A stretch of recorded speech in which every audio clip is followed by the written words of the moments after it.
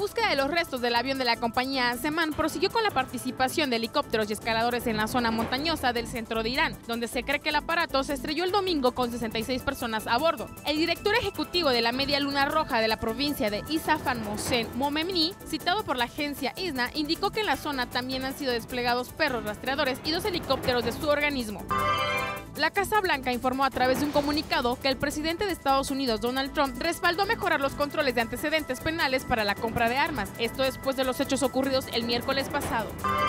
Tres hombres implicados en el escándalo sexual de Oxfam en Haití supuestamente amenazaron físicamente a testigos por sus actos durante una investigación interna realizada en 2011, informó este lunes la organización no gubernamental. Un niño de 6 años y tres adultos resultaron heridos luego que un hombre enmascarado comenzó a disparar contra un grupo de personas afuera de un restaurante en San Antonio, Texas. El jefe de la policía informó que dos de los adultos se encuentran en condición grave. Aún se desconoce el motivo de los hechos.